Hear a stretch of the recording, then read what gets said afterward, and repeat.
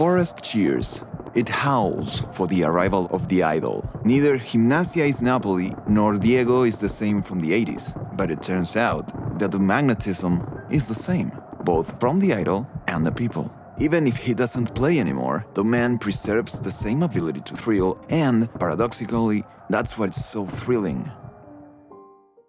Here in Argentina, we thought that he was immortal, always capable of getting up. And perhaps that denial, thinking that he was bulletproof, slapped the face of a country and the world. A football player, a man from the slums, an artist, a junkie, an avenger, a leftist, a pioneer, a playboy, a freak, a villain, a symbol of popular redemption. It's all true, it's all real, and it's all too much. Every second is vibrant, every detail is shocking. This is the story of Diego Armando Maradona's last year on this earth, his last year as a manager in Argentinian football. The last miracle of Diego. Gimnasia needs a miracle. One of the oldest clubs in Argentina is threatened once again by relegation. It's almost a fact the average point system, so particular of Argentinian football, is a sentence for Gimnasia y Esgrima de la Plata, which must accomplish an overachieving campaign just to stay in the same division. The catastrophe seems imminent. Shrouded in fluctuations common of the Argentinian economy, Gimnasia is experiencing a time of managerial distress and, above all, of sporting discredit. The relegation is a torment once again if the team doesn't improve. It will be the sixth time it's going to play in the second division. That's why the word miracle is the only one that convinces the Lobo fans. The Wolves, one of the most popular fanbase from the city of La Plata, the capital of the Buenos Aires province. It's because of this last part, and for the word miracle, that in the Bosque Platense, everybody is talking about God. The lambasted president of the institution, Gabriel Pellegrino, reckons that he already called him God. Yes, the very same.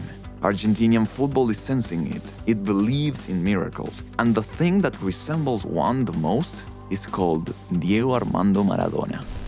Maradona sits down at the small table of Argentinian idols. His historic exposure, unique to the growth of the massive media, puts him at the center of the scene. If Pelé was the idol of the radio narrative and Messi the YouTube one, then Diego was the TV idol. And it turns out that the time and context goes perfectly hand in hand with his history. Football and war have nothing to do with it, but it's undeniable the relevance of the Falklands conflict during that England Argentina match from the 86 World Cup.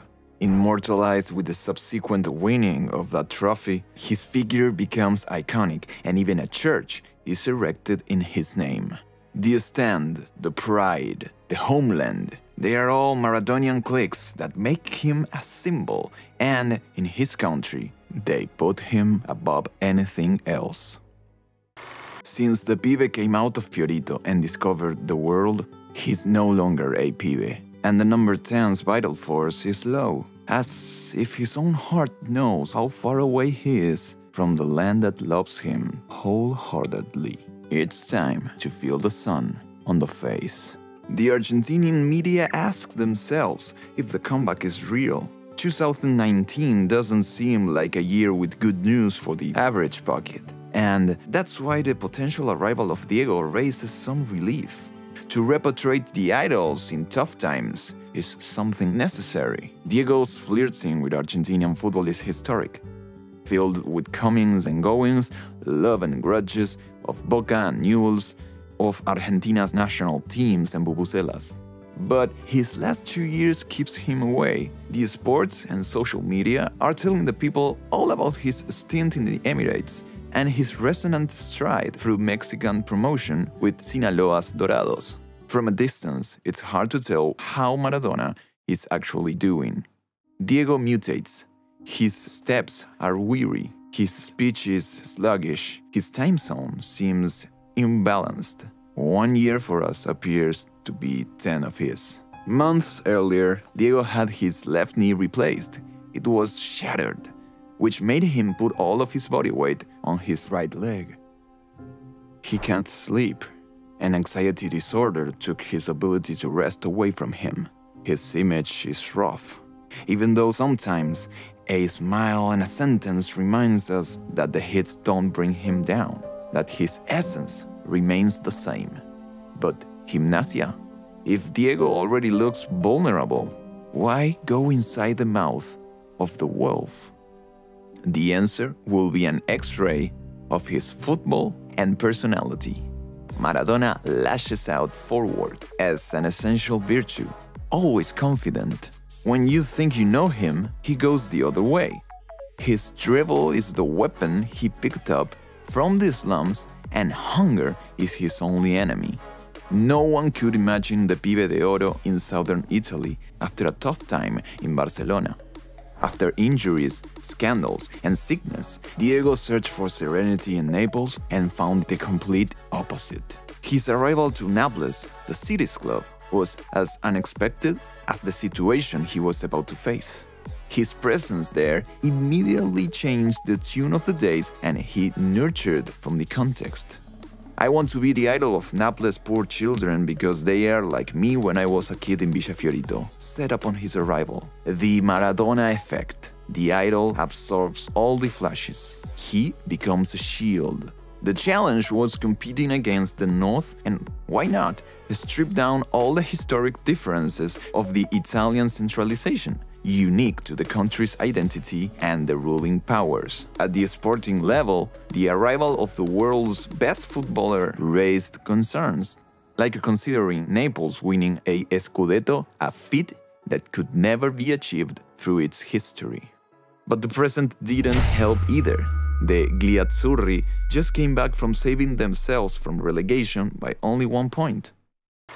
That's why on July 5th, 1984, the San Paolo Stadium erupted like Mount Vesuvius upon the arrival of the greatest in the world.